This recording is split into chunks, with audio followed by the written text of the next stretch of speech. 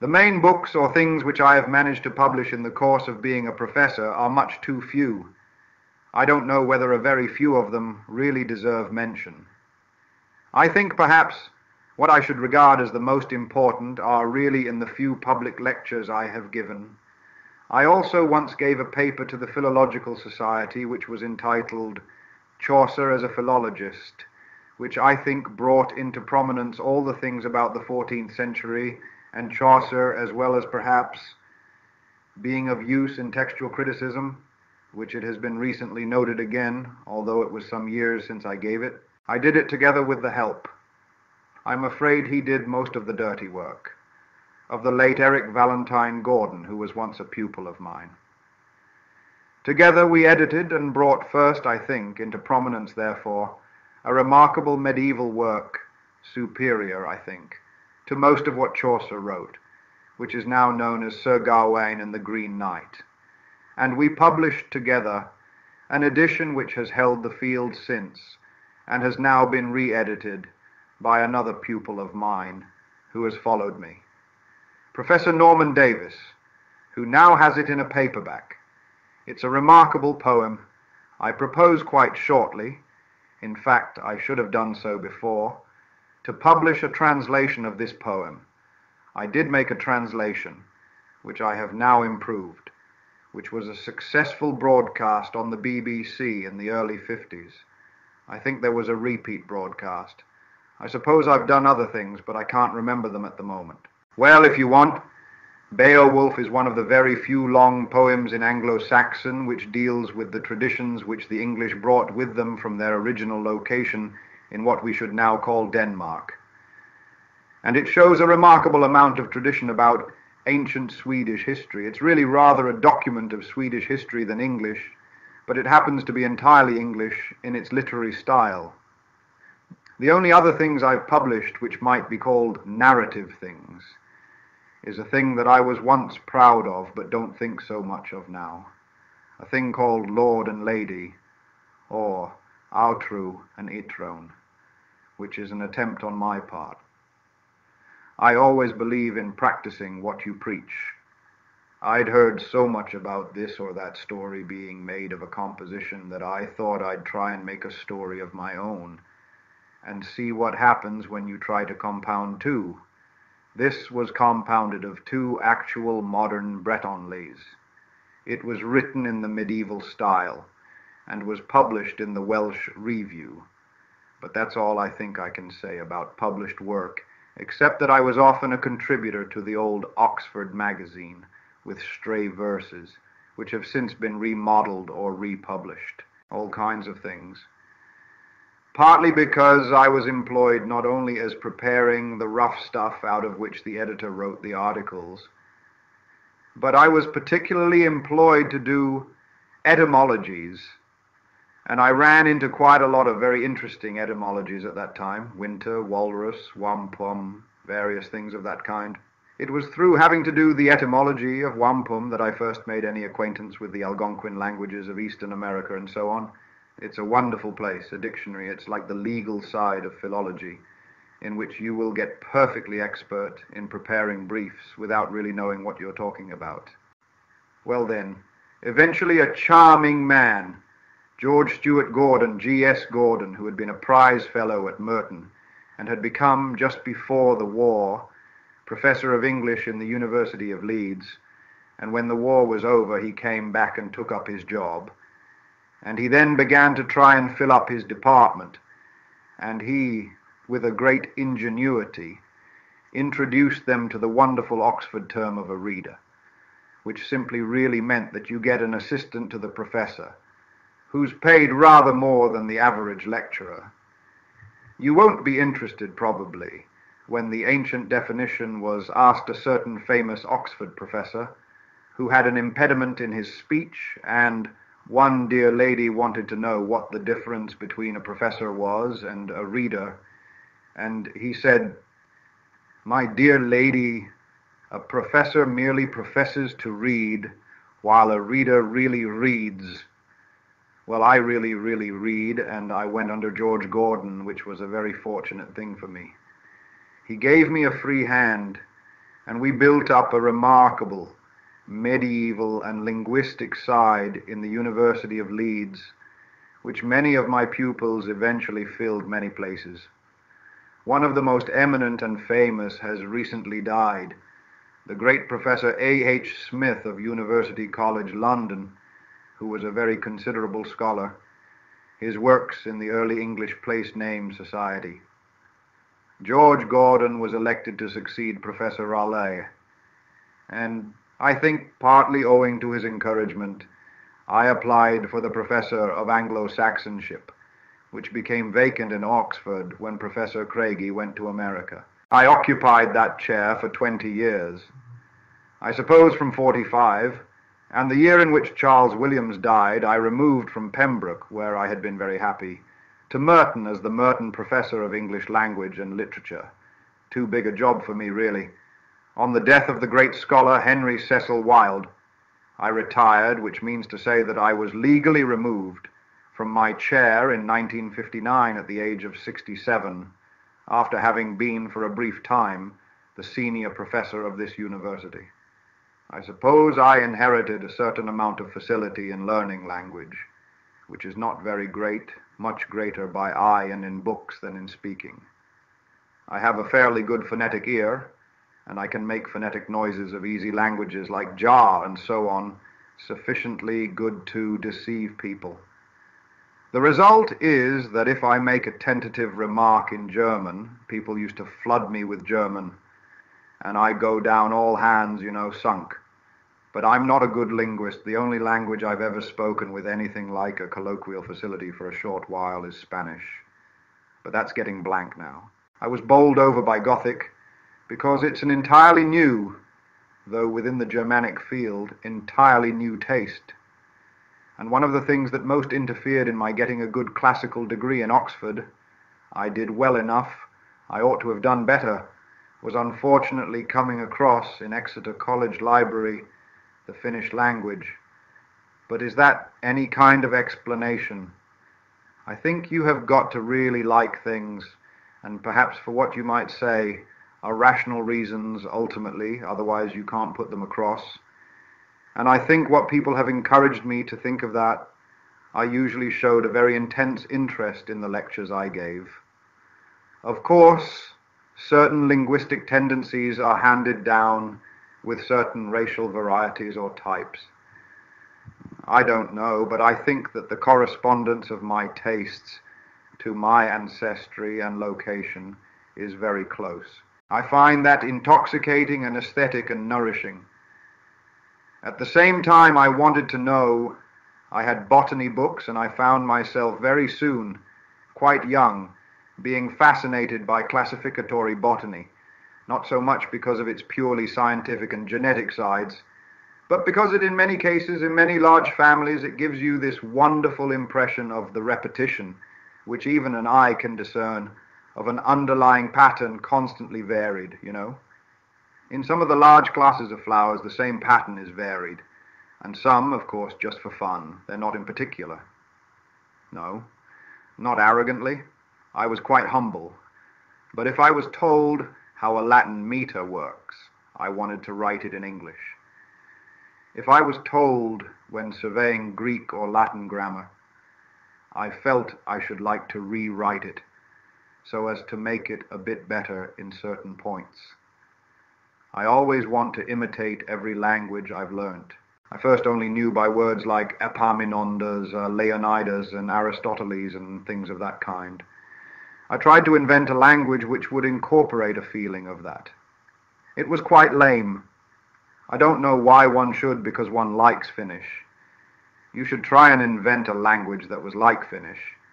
Or, uh, of course, when one has learnt a little Welsh and wants to make a I don't know why, but I've always been like that. And also any story or any legend, I think. I've always wondered how I felt that I could incorporate that and possibly improve it when I put it into a work of my own. But it's had a long history because it started out by being extremely Finnish, which David Masson, who is rather good at these things, detected almost at once by having a bit of it written. It's got some Finnish stuff in it. I mean, Surinen and so on would catch the ear of anybody, of course. The use of innen and so on is very Finnish, isn't it? Yes, rather beautiful. But it's only good for one line to me. It's, you might say, got a Finnish basis with a certain amount of Greek thrown back, and other languages I've learnt since, but harking back, since this is its final form, to what is really my primary love as a good European, the basic European language, Latin. It's got much more Latinized as I've got older. This is how, if I got a voice suitable, I should imagine Gandalf at the Council of Elrond spoke the chief words of The Lord of the Rings, which appear on the head of each volume. One ring to rule them all, one ring to find them, one ring to bring them all, and in the darkness bind them. Ominous in English, but in the foul language of which they are composed, it runs something like this. The change in the wizard's voice was astounding. Well, I feel that those words are ugly, and I can only offer that as an example of what I find ugly. I find it, on the whole, most people of the same island, of the same general linguistic background and climate, agree. But actually, what really is ugly is so close to what is familiar that it's difficult to ever come across. Most people will agree that I is, on the whole, a pleasant sound and you will find that in many languages, even in the Eastern ones. But after all, great languages like Sanskrit hadn't, in the classical Sanskrit, hadn't got an R, hadn't got an I that was connected with R, and the same is generally true of Japanese. Authors very often tend to describe character, their own character very often, or a character as it appears to them to be. But they also tend to describe characters which are, although they mentally and by sympathy can comprehend, they are not really in their own nature. I think I find I often describe timid persons like myself. The only saving grace they can have is fortitude, which I don't think I possess myself in a very great degree. I should have retired into the house and asked my mother. But at the same time, I should have had no regrets about the necessity of this procedure. Some boys would have either disobeyed or felt that they were being frustrated. If a wizard had come to me, of course, as a small boy, then the situation would be totally different than that in The Hobbit. I was not a free person, nor the organizer of my life, nor the householder, nor anything else, but at the same time I should have found some excuse for not going, because I'm neither heroic nor very brave and because there's a total distinction between adventure in literature and adventure in real life. They're neither the same nor even the same in the after effects. But then, they were after something else bigger than that, weren't they? It's wonderful what even I think I could endure for some lure like that. Yes. I have no desire whatever to place myself in an awkward position just for the sake of adventure. Well, I wrote The Hobbit in 1937 I'd already, ever since early youth, and certainly since undergraduate, had been slowly constructing and altering and fiddling with it, and had eventually produced a large legendary cycle of the supposed elder period in this world. The Hobbit, I wanted to write a fairly quick story, a bit of humor in it, and it was supposed to break away from that world, and does to begin with, but it gets drawn back into it, doesn't it? And that's really the origin of The Hobbit. But of course, in the process of writing The Hobbit, it's a fairly long book, even so, isn't it? It's a goodish narrative long. In the process of that, if you're a writer, an awful lot gets tied up. Your own present situation, your past, the things you would like to do, the things you have done, and so that it's simply full, of course, of memories for me. I don't think you get anywhere near the center of the Hobbit at all by discovering the ingredients. It's like stopping in the middle of eating a most delectable food and insisting on the chef coming and telling you all the things it's made of. It seems to me the soup's the thing and not the things that go into the cauldron. I always think this is an extraordinary illusion that you get anywhere when nearer the center. You can get nearer how the soup can have that flavor You don't get any nearer the point of why the flavor is pleasant and why people like it or why people come back for more of that soup. They don't come back because of some asparagus or some corn. They come back because they like the taste and the mixture. I could go on for hours telling you what things The Hobbit is made of, but it won't get you any nearer to where you can say why it amused you. It amused you just as much before you knew that, and will go on amusing you. I hope even after you do know. As a matter of fact, one of the cardinal things in The Hobbit is one of the few adventurous periods I ever went through in my lifetime.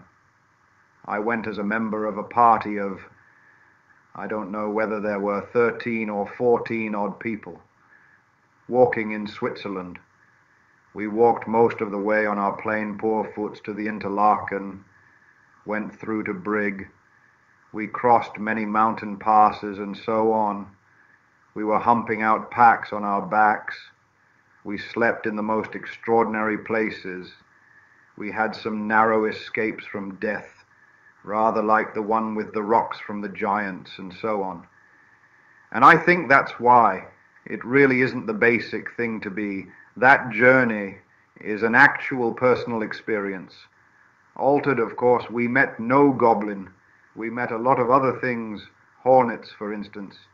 If you've ever jumped in a hornet's nest when you are looking for a lost piton and had a whole host of hornets looking for you, zill, you dive under a blueberry bush. Well, I did do some climbing and walking, you know, slipped in a crevasse and all that kind of thing when I was in Switzerland. I am not so completely sissy as I make myself sound. I started writing The Hobbit. Really, I can't remember quite why except I suppose that one was ripe for trying to write a longer story than I'd done before. I tore the paper out because there might be something here before I put it back in the pile. You're not supposed to tear papers out of exam papers. Well, that's the flashpoint. I don't know how The Hobbit, what generated the name. You can think of all kinds of theories but of course it was made up of linguistic things in my mind, but it seemed to fit. I then wrote, I suppose, what was the first chapter. I'm afraid I've lost, but I still preserved for a long time a page of the spidery scribble in which that was written before Gandalf even became called Gandalf. I got interested in this, and at odd times, well, I was a busy man, you know, university official, conscientious lecturer teacher. I used to carry on with it from time to time. I can't remember quite how many years it took in completing. It's finally the old basic thing which must have occurred often in literature. The reluctant hero and the stay-at-home man having adventures he never expected to, and being, not really basically altered in character, but very much altered in humor and experience by it. That's the basic thing, isn't it? So what's better than a wizard I must say that I think the dwarves were rather a good invention. I don't think there's any precedent I can think of. Having a party of these people all coming in uninvited, I thought it was a good point. And the story, the essence, is for me the adventures of this little chap. Dragons I liked. Dragon hordes have always been in the back of my mind since a child. So obviously the end of the pilgrimage was to lead some time to a dragon's lair. The whole thing of a narrative of that length you know, the end is not perfectly clear until you get there. And it picked up a lot of things on the way. The story is a small, fussy little middle-aged chap, man if you like. The bachelor fond of his comforts, suddenly swept away. Partly by an inner weakness that says yes, but mostly by the feeling of becoming a party of people who are going on an exploring expedition their object being to recover their own wealth, which is now occupied by the dragon. And the story, in essence, is for me the adventures of this little chap on his way to this dragon and his hoard, which he eventually reaches, the result of the quest and his return home. It's therefore called There and Back Again. That is the simple outline. I'd never even thought about publishers, I'm afraid. Have I told you the story before? of how it actually became published. I typed it out, of course, and I think C.S. Lewis read it, and I think Miss Elaine Griffiths, who's now the chairman of the Faculty of English, now read it, and they liked it. And it was from Miss Griffiths that it got in the hands of another young lady, Susan Dagnall, I think her name was. You'd have to verify that who either then or afterwards became connected with Allen and Unwin, and that's how it got into the hands of the publisher at all. It was read by the Reverend Mother of the Cherwell Edge Convent, who had influenza, and amused her. And I think it was through Susan Dagnall that it got in the hands of Stanley Unwin, who then read it to Rayner Unwin, who was then quite a young boy, a small boy, and I remember in one of the letters from Stanley Unwin, he said that Rayner said, Don't read any more because I shall fall off the gate if you do so, because I shall laugh so much. It was purely accidental. I must say, I was extraordinarily fortunate in having been well connected with such a publishing house by such an accidental means.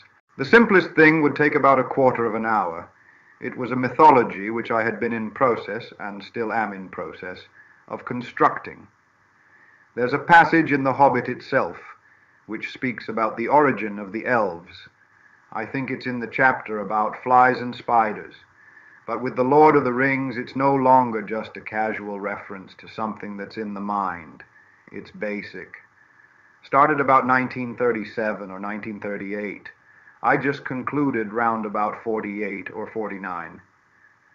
Well, you must read the book. I mean, I can't give any better ideas than the book. I don't use the term goblins in The Lord of the Rings.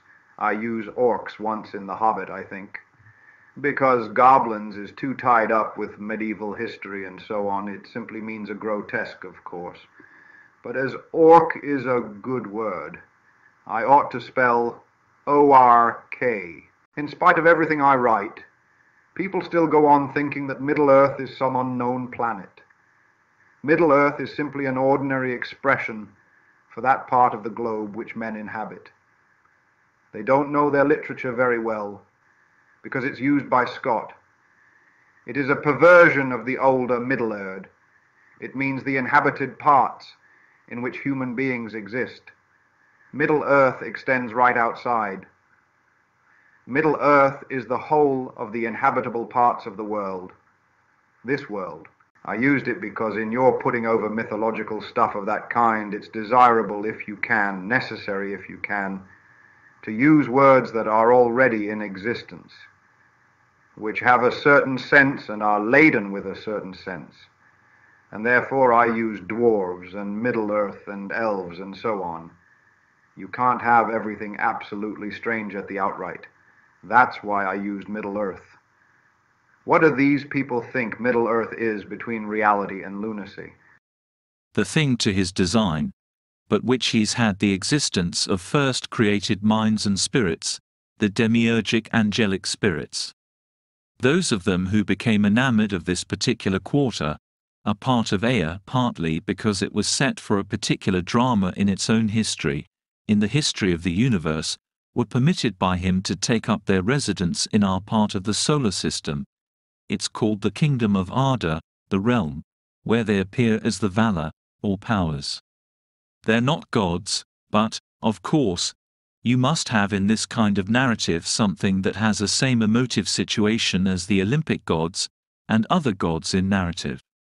They do, of course, occupy a position like the gods in ancient myth, but they are created beings, appointed guardians of this world, and their chief was called in Elvish, Manwe. He is referred to as the Elder King. His wife was Varda, who's apostrophized in the other language, Elbereth. They're there as a kind of background.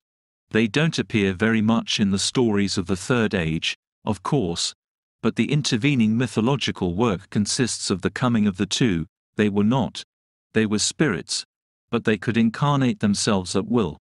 And they very often took human form in my mythology simply because of the intense love they had of the promised children of God who were to come, who were outside of any design they were allowed to interfere with.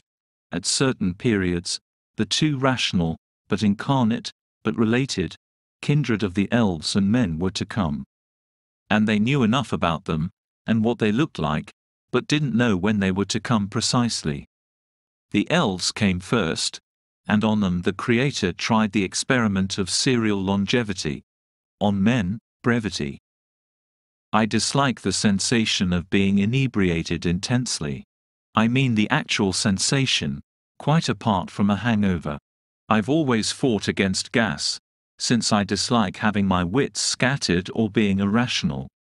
I won't take gas, never have taken it, since I was able to exert my will. I will not be anesthetized. Love it. Oh yes. I think most of the objection to it is because people know so little about language. Of course, it's very current in my church at the present time. So many people seem to be quite ignorant of the fact that kind of noise is only one of the many signs. It's only one form of language. You can attach meanings to other actions than wagging your tongue. For instance, to genuflect is much terser, sometimes much more expressive, than a word expressing homage. It's no good telling me that you can get used to genuflecting.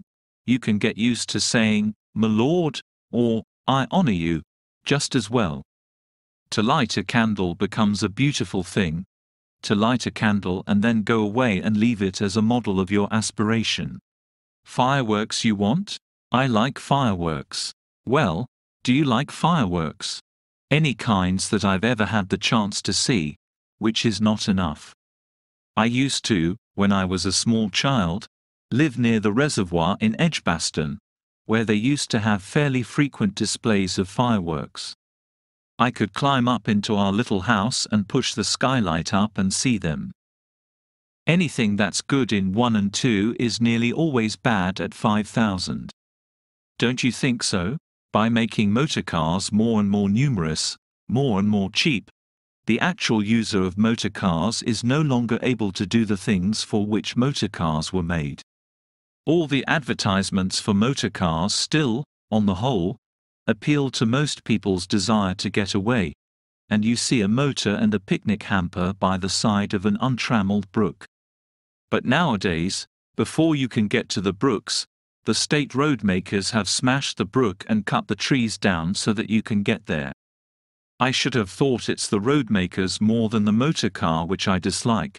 They really are ruthless and foolish. I suppose in a sense it's true, because I didn't put much of it in. It isn't quite true as, of course, as a matter of fact, there are references to God, either direct, in which he is called the One, in one place, or by implication, as in the conversation between Gandalf and Bilbo and Frodo and what it was that was directing the finding of the ring, or in the Númenórean grace, which is said by Faramir. But, of course, if you mean religious practices, you don't get much, except perhaps, say, the Elvish hymn to Elbereth. And that's partly, of course, a deliberate device. There are some things said, for instance, quite obviously. The Númenórean people of Minas Tirith of Gondor, for instance, obviously had no organized religion like our own, with a sort of Sunday set apart, that kind. They had become largely not so much necromantic, as in the way in which Egyptian culture had developed, which was necrological, there were sacred places, the tombs of the ancestors and so on. But that, of course, was because of the terrible events and actions in their own past, which are outside the story, which is reserved really for the downfall of Númenor which is one of the things I have written but shall publish. I would, but I think there's enough. Isn't there really, wouldn't you say? It's quite enough to give the air of a fully organized world. Not only the geology is attended to, certainly, though actual geologists have found some faults in it, but the fact that they could take it reasonably at all means there's been some thought put into it. What people really want to know is a grammar but I can give them more easily than a grammar the origins and process of the development of the phonetic structure. Yes, I could recite a declension now, if you really wanted one. Apart from that, it may be seen that it gives you an insight into the way in which The Lord of the Rings has grown up in and takes in a large part of earlier and unpublished literature, because the exact purport and tragedy and sorrow of the lament can't be understood unless one understood Galadriel's part in the far past.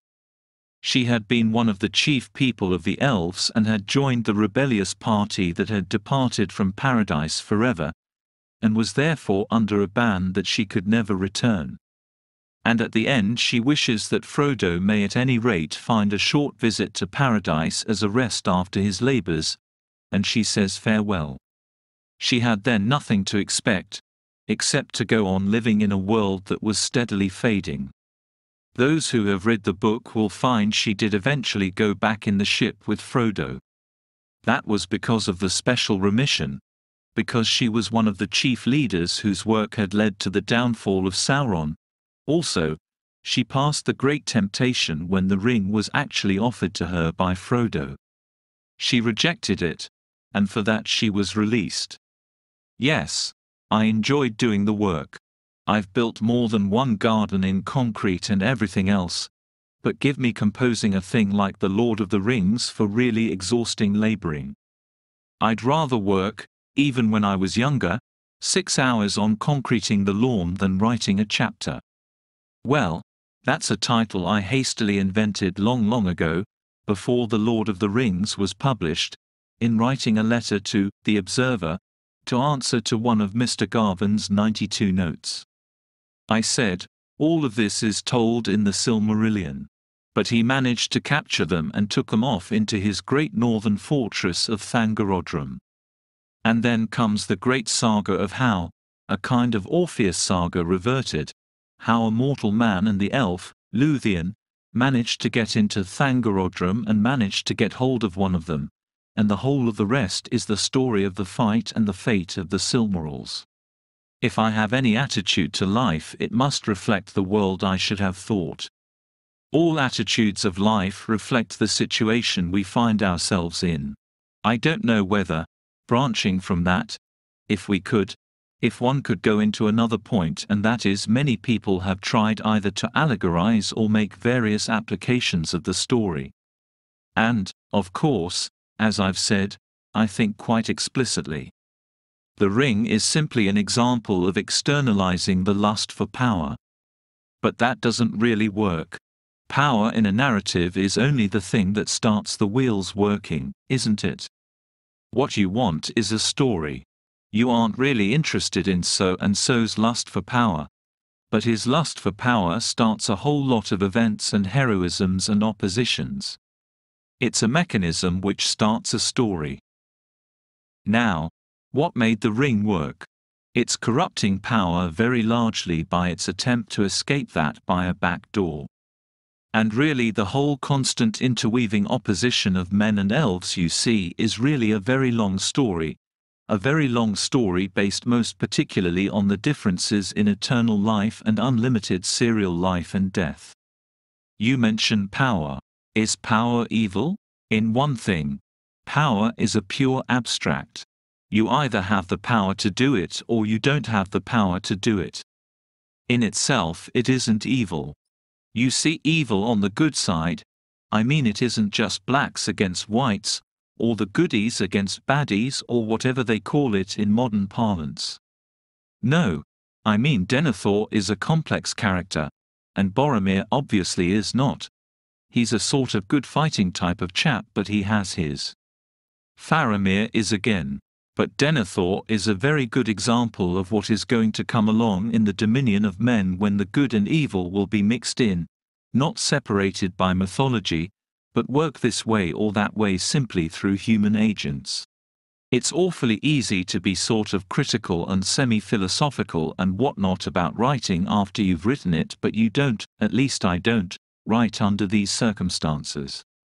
I don't think anybody can write according to their theories. At least if they do it doesn't produce anything like The Lord of the Rings. Which I must say for me. It's so long ago since I wrote it, that I can now read it really as almost as if it was written by somebody else. I must admit it's damned exciting in places, and I often sometimes look back for a quotation and find myself still reading on.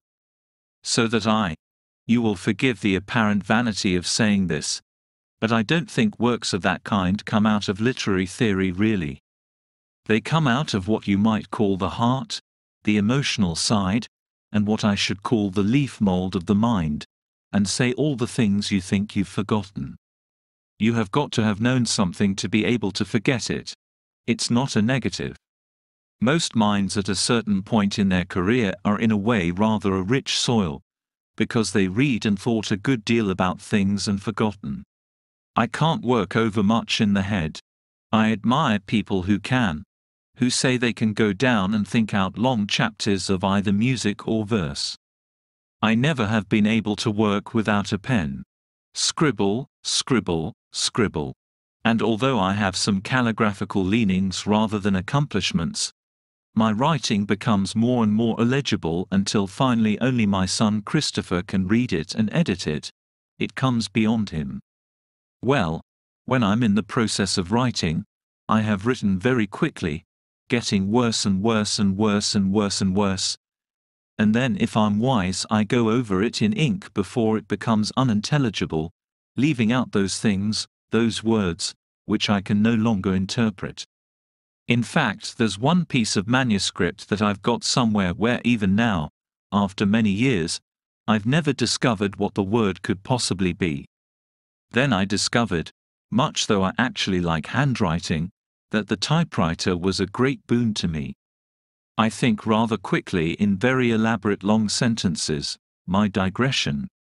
Sentences by me very largely consist of stuff in brackets. Ent is an interesting name. It's one of the many Old English words for giant.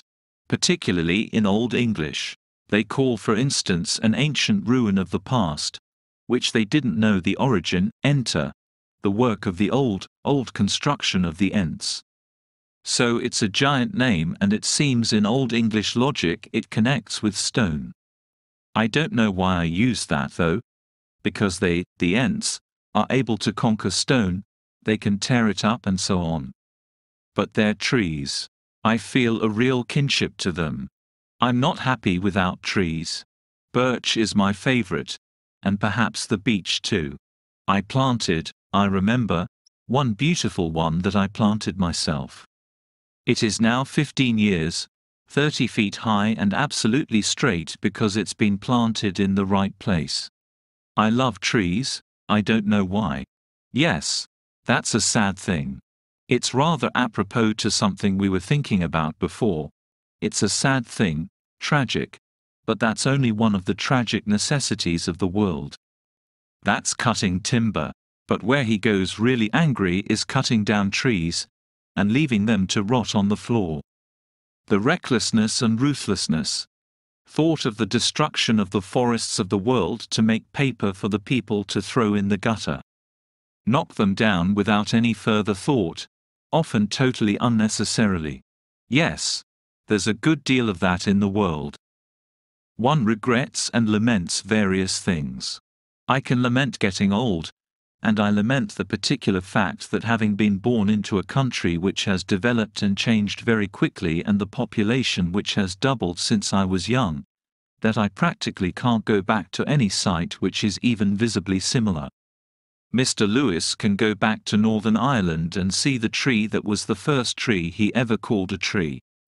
But I think that's all, isn't it? I'm sensible enough to realize that a lot of this is essential at any rate. It's not peculiar to our time. It's only that the multiplication table has come in now. It's faster because there are more people required. Dash it. Nobody in ancient England thought anything about oaks, trees. I mean, they devastated the whole of the southeastern country for smelting, for building ships and so on. No, it's not a new thing. They're not a very common type in universities. Though I do know, I won't mention his name in public. I know a most perfect example of a university hobbit, both in size, appearance, and general sentiments. So they occur here and there in many contexts. But they were fairly common in villages that are either agricultural or mainly agricultural, and they're pretty common in England, surely. They're not only agricultural, though, you know. When I was a sort of growing schoolboy and then an undergraduate, I used to love coming up in the local trains when the people were coming back from the works in Birmingham or getting further out towards Evesham there. It's delightful. Well, that, as I told you, that is a childhood. There's nothing in The Lord of the Rings except that it's a foundation of one's feeling for trees, flowers, and England generally. Oh, yes, very hobbity, of course. Some of the sagacious remarks and aphorisms come from the people I knew, of course. Yes. I'm rather dressed in the fashion of the day, rather like little Lord Fauntleroy, very unsuitable, really. We used to hobnob with the farm children, the cowman's children and so on. They were very contemptuous. I can still remember they burnt a hole in me when I was young and I didn't hardly understand it. One little boy looked up at me and says, You're but a wench.